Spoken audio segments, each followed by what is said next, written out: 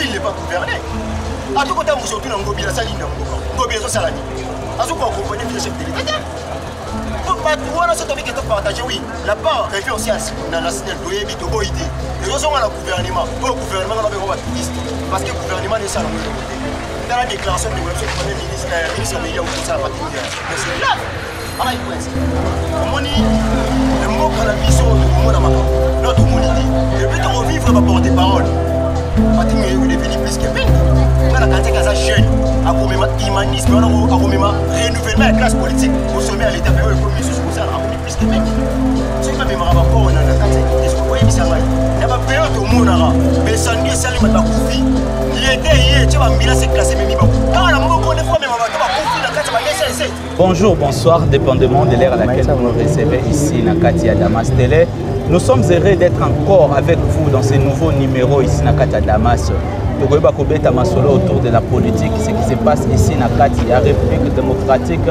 du congo sans doute boza komona pembeni na biso ndeko vini kasongo moko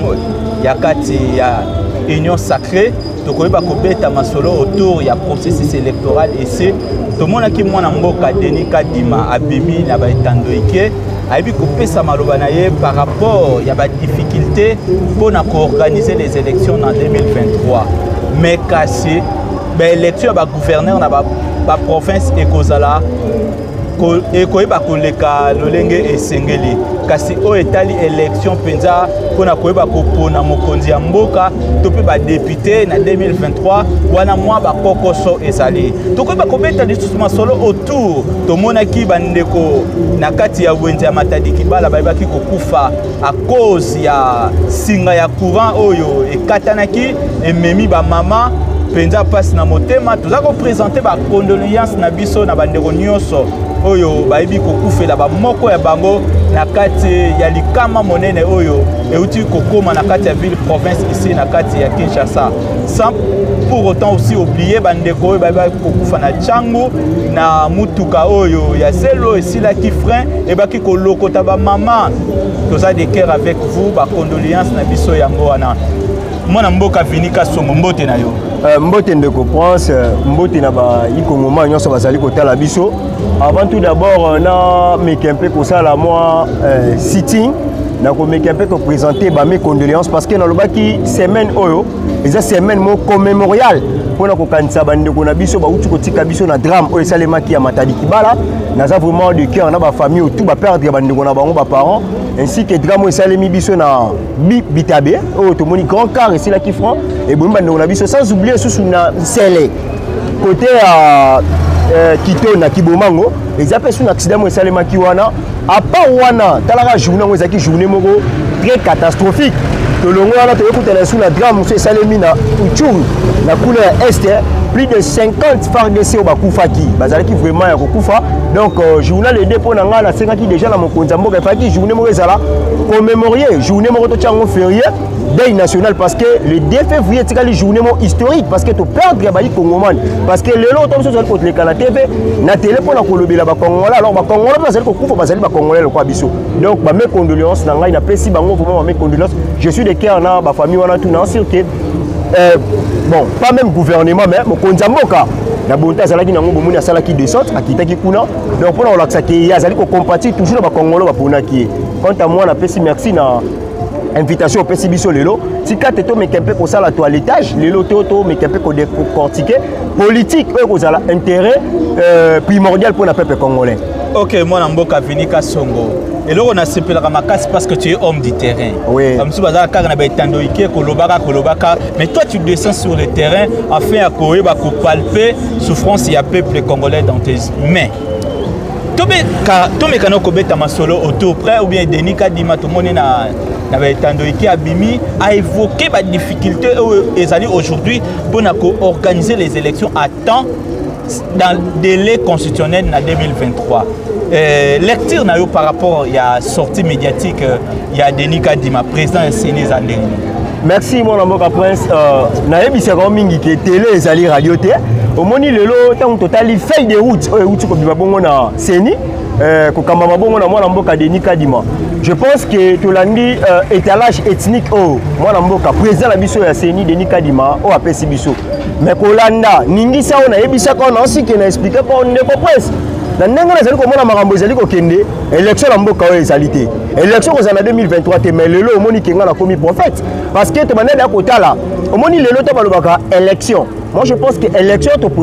toindikaka yango ebandaka dès le nouveau législatif oyo ekoti ntango omoni ke président akoti na pouvoir nde tobandaka déjà koprépare élection mais so otali ya biso bien touti ya bongo kokutana bakokoso omoni ke kobanda ya président même ata calendrier électoral moko déjà ezalaki établi te tomoni ndenge bamanœuvre oyo nyonso elekaki bon tolandi denis kadima le 2 tolandi président ya ceni omoni ke abimisi feuille de route komona ke président denis kadima aza déjà na volonté osese baélection mais en guise de cela ngai nakoloba ke élection soki lelo ekomi déjà na batatonement tomonaki mpo aévoke alobi ke aza déjà na volonté le 6 a le 6 avril tozomona ke baélection gouvernementale ezali kosalema parce que na mboka na biso toza na bagouverneur bazali kosalela baintérim oyo tobengi ba ai bazosalaka toujours bainterim or na mboka oyo ndenge eza mpo motu accompagne visa chef d'état mpo azala motu aza assise tokokende na bagouverneur oyo baza bainterimaire te mais kolanda ningisa efeuille de route na ye ya mwana mboka denis kadima moi je suis enquête parce que daye kuna naza kuta enquête te mpo déjà nayebisaki yo komona ke ndeko asaleli biso déjà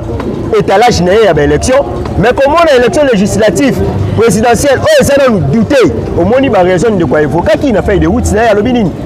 kozala volontaire kosesa na élection eza bien mais nazotala sur le plan sécuritaire sur le plan ya covid oui biso toyebi ke une année ya covid efrapaki biso et puis sur le plan financière nga nazomona déjà ezali déjà danger danger permanent parce que na mboka oyo daso tomoni déjà allusion ya président seni oyo alobi ke non élection ezali euh, eloko moko aza na volonté kosalisa yango mais ntango aevoke trois point wana oyo eza point moko clé ezali kolakisa ke mwana mboka fo koyebisa bayi kongomani vérité ke non élection na 2023 ezali te élection na 2023 eza te donc oyo ezali mpo na biso ezali ke koluka ndenge nini tokoki kosortir deja na crise parce que tokoki deja na crise électorale eza clair crise électorale déjà eza na kati parce que nalobaka wana émission moko toenregistraka na biso ke nabi mwana mboka prince tovandi awa seni aza deja wi établi parce que lelo so tokomozwa ba Euh, bamabaku ya boye lelo likolo ya tete aseni ezali suite ya bandeko na biso ya confession religieuse notamment euh, bandeko na biso ya catholique bango nde bamemi biso sikoyo na glissement parce que bango bafreinaki déjà processus électoral ya désignation ya nouveau président seni omoni lelo soki bango barespectaki déjà calendrier mpe ezalaki déjà mise na parlement mais lelo tokoki tozala jela makambo ya baélection mais ce feuille de route déjà ebimi boye mais ezala batatonement kouta mpo nango condamne pouvoir en place te parce que pouvoir en place ekomema biso na glissement te mais glissement euti directement na baconfession religieuse oyo toyebi soko eyaki déjà bato ya catholique oyo bayaki koluka kobimisa candidat na bango esimbaki te mais lelo yango ekokite euh, boye on peut dire que euh, donc ambongo e derrière ce glissement mais nalobi ndeko prince peuple azotala biso babarricadage oyo nyonso esalemi oyo bavire oyo to esalemi na niveau makambo ya désignation nouveau président seni mais qui était holotaire ezalaki bandeko na biso ya senko parce que bango nde bazalaki contre baboyaki kotya ndeko na biso kalima parce que bakendaki na vote tolandaki yango fort eh, tolandaki yango de près sur 8 6 baponi mais bino nde bose retire oyo ezalaki ya bato na biso ya ecc ya bokondo omoni ya senko ezali kokamama na sholi mais lelo soki fai lewuti ebimi bayi kongomani bali bana bake non pouvoir ya place ezali assise mpo na koluka kobimisa glissement mais ngai na koloba verité glissement ewuti ba félix te le glissement ewuti ya pouvoir ya place te glissement ewuti ya banonosa catholique oyo deja banda na koboya parce que bafrenaki deja processus électoral parce que désignation banda kowuta mpa na bango soki bango babimisalaki biso baportaki deja choix oyo ezalaki denis kadima mais lelo tokoki tozala batantonnement te lelo tokoki tozala bahésitation oyo te mais suite na bango nde esali ke feuille de route électorale ebima ezwa bakompromis ya boye ebimisela biso deja badega ya boye parce que biso le pouvoir en place toboyaki koorganize baélection te tozalaki deja prêt ya kosala baélection mais freinage na biso bandeko na biso basenko parce que shole yo mo oyebi kenga balobaka c'est un extrémiste mpo wana etali kaka nga baparole wana engage ngai parce que ye nde moto afreine bamakambo nyonso mais lelo sikoyo yango fai de route elo nini tokokamwa parce que ngai nayebisi yango ndeko prince ke nene makambo tozokendele élection ya 2023 ezala te élection nde tozomoi tozala 2023 non parce que calendrier électoral no ebimi te wana eza fai de route oyo ezomema biso mais calendrier électoral selile na biso so calendrier électoral te il faut toyeka na recensement peuple ayebaka yango à part recensement il faut toleka na enrôlement à part enrôlement il faut toleka na nini na commandement ya bamachine à part bamachine fo bameka baeseye susu bamana na koeseye yango tente so tocalcule bamwa wana tout ozomona te ke tokende tya na ba 2024 ke 2025 or fo kozala clair na peuple ke na 2023 il y aura pas des élections fo koyebisa bango vérité derrière nga déjà nalobaka yango 2023 eza baélection ekozala te oyo nyonso ali komona parce que freinage euti bandeko na biso ya senko bango nde bafrenaki parce que soki barespectaki calendrier oyo ezalaki déjà mise étalé na parlement mais lelo tokoki tozala déjà makambo oyo te parce que na zambie basalaki baélection zambie oki tosala baélection Eh, zambie esali baélection soki bango basalaki bango bandimaki or mise na bango mais lelo tokoki tokóma na babiloko wana te mais lelo biso tokoki tozala déjà bien étalé eloko nyonso elingaki koleka bayebaki feuille wana de route euh, feuille de route mpo na seni nga deja nalobaki yango eza eloko moko te kokamwisa biso eloko moko mpe te koetone biso parce que nalobaki na 2023 il y aura pas des élections il y aura pas des élections ndeko prince euh, mwana mboka vini kasongo ebele ya bato bazolanda biso ouais. yango tozosenga na bino bosabone bosabone massivement ici na kati ya damas tele et vous ne serez pas dessus tomoni bandeko bakinois na wenza matadi kibala bien que gouverneur a passé na point de presse na ye ayebi koloba oyo akokaki koloba que eza wenze mpenza ya matadi kibala te se eza marché moko pirate ouais. eza marché moko pirate mais na kolanda badure ya gouverneur na point de presse na ye ke esika oyo baposaki pierre mpo na koérige marché mpo na délocalisation ya marché ya matadi kibala esika yango eza esika ya bato alobi mwa makambo ebele nayebi te lecture na yo par rapport ya kufa ya bacongolais congolais oyo ebele bakei nayebi te euh, analyse na yo par rapport à ça euh, qu'est-ce que tu peux dire par rapport à ça euh, mwana mboka prince omoni nalingaka yo mingi sur l'actualité parce que ozalaka trop proche na actualité olingaka mingi vraiment ke bayi congomani ba comprendre actualité actuelle nde tozo kokende na osi na introduction na yo nalobaki ke toza de cœur surtout bandeko na biso baza ya matadi kibala oyo baperdre bandeko na bango na drame oyo esalemi na coupure oyo ya haute tension oyo singa oyo ebomi bandeko ebele plus de 26 morts au delà déjà mais cela na lise na ngai ndeko po ntango otangi nkombo ya ya gouverneur ndeko na biso gentini ngobila mais c'est grave nakoyebisa oke na mboka otokaka na gouverneur te na mboka o depuis le président faci akota na pouvoir nayebisi yo vérité ke na kati ya mboka oyo toza na gouvernement te jean-marc abund ladi la ville n'est pas gouvernée eloko nini biso tokokamwa eloko nini ekamwisa biso lelo tolingi tokóma na bafaillite oyo oh, biso bavini kasongo tokitaka na terrain te tolobaka ke gouverneur azosala eloko te babukumeske bakosala eloko te lelo fai tomona drame oyo oh. omoni lelo osala biso mpasi ntango tobeti lisolo ya marché pirate mais ce n'est pas marché pirate bafutaka taxe ya leta te bafutaka bambongo kini bopeto te yango na lilo azozwa bamonima yango nazoloba sikoyo ntango ozo reconnaitre bamarché pirate oyebi ke drame oyo avo esalema eza na drame oyo esalema na 2017 kaka na matadiki bale boma 5 personnes ezikisa bango singa wana na baplace wana oyo sinel akei kobamba fo tebisa peuple ayeba verité parce que singa wana ekatani eza mbala liboso te ekatani deuxième fois nango yango ya liboso ekatana kaka place ekatani wana ngai nazalaki wana na terrain sinel eh, akati aye kobamba basinga wana oyo tension abambi yango ya kobamba mbongo ebima na kese ya leta oloki esala mosala na voie normale moke esali obambi ole bazo ba précaution ntango ekatalaki na 2017 je savais que ngobila elaki kimbuta ete la mais ntango yo ye chef de l'état alobi d'ailleurs matadiki wana eza route numéro 1 principale ebimisaka so balima chef de l'état babani tozwa précaution chef de l'état asignala déjà gouvernement or mingi ntango basignale gouvernement ngo bino se te eh, il est au plutôt au courant aza moto azali na kokambama na kati ya gouvernement aza mokonzi mais mais ndeko ah. nazomona ozotalisa mandoki mingi kaka pa gouverneur de la ville gentini ngobila mais baresponsabilité eza partage signal aza de l'autre côté population aussi de l'autre côté et gouvernement aussi omoni lelo nalobi bilan wana ya bamor wana responsabilité tokopartage yango oui bien sûr mais oyo ezopoze na bapole na ye c'est le gouverneur de la ville parce que bamarché omoni lelo ntango singana ekatani tala baimage oza na baimage nayebi ke oza journaliste yango aza mai ya bainvestigation kitaka ntina kati soki otali marché wana nde ezalaki nonde babenganaka badana poince tala wana place yango bamarché wana ezalaki kue tala loka batinele epuis tala nde bakufi bakangami ya kokangama babengani bato nyonso na presse bakei kokofre bango na kati wana ya marché pirate wana oyo oh, bazofutisa bango plutot paku epuis bazofutisa bango mbongo ya kinbopeto kuna kinbopeto esalemaka te buku meske ezistaka te ntango mona okoyela danger ya bongo puis ah, mais nayebi si oke ngobila doit répondre ses actes et puis tosengaki eke fa démissionner wana demande ya ngobila de démissionner ngobila osala eloko te e tosengaki fa démissionner tozosenga ye biso totake personnalité mais totake gestion na ye parce que tala baimage wana soki otali yango bien bandeko bakangisi bango baza coffre place moko ntango osingeka te epuis tala place yango mai est ce que basalaka nini kin bopeto wana salongo esalemaka te mais sikoyo mbongo salongo ekendaka wapi Mais c'était des questions au président de la République lorsqu'à commis à Moni sur le fait Omoni, y a terrain. Omoni, le, le match est qu'il peut te Le président Fatih est sage. omoni oyo babavi outi kosalema awa touti koyoka ya bandeko na biso ya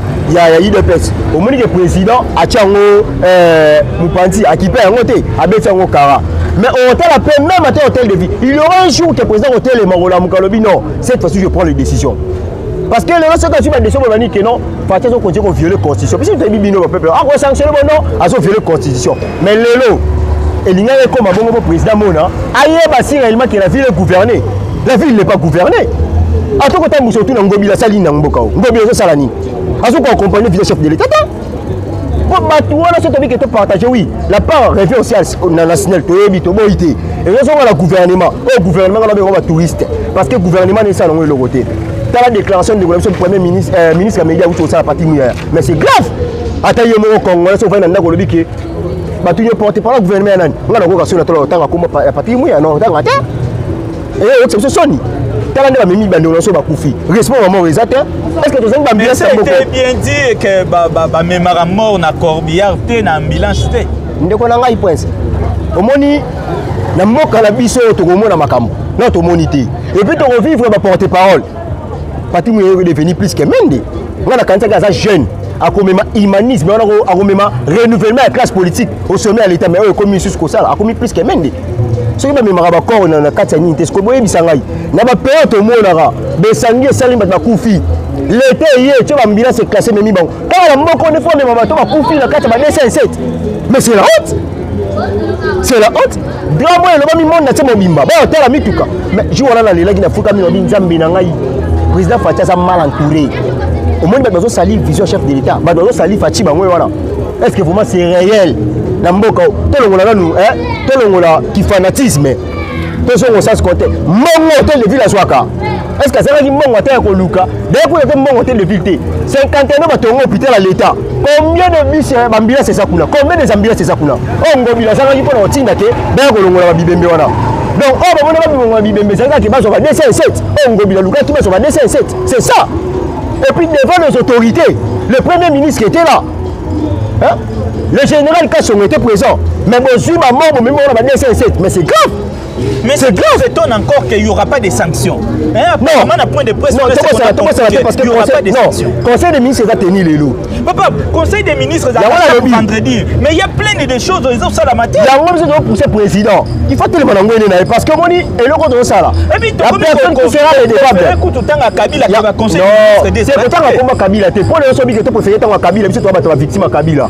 Ah, Kabila aza lisusu te. Mais toloba eloko moko. La personne qui sera redevable devant la population,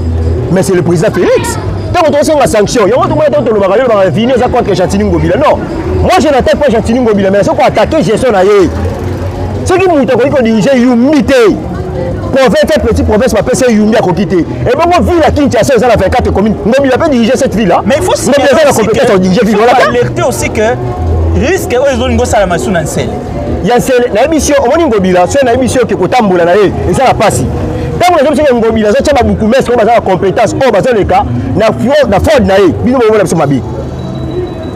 jama kabunda disa la ville n'est pas gouvernée jama kabunda alingi mbongo lelo sikoyo tokomona banini drame esalemi o oh non fo topartage bilan bien si tokopartage bilan de part et d'autre ezongi na gouvernement snel Mais la responsabilité la plus moyenne au Kita et la plus grave plutôt, c'est Gentini Ngobila. C'est Gentini Ngobila. mpo natali jour wana natali mpena salongo ezosalema te natali ebele inondation esalemi wana table ekwei ya haute tension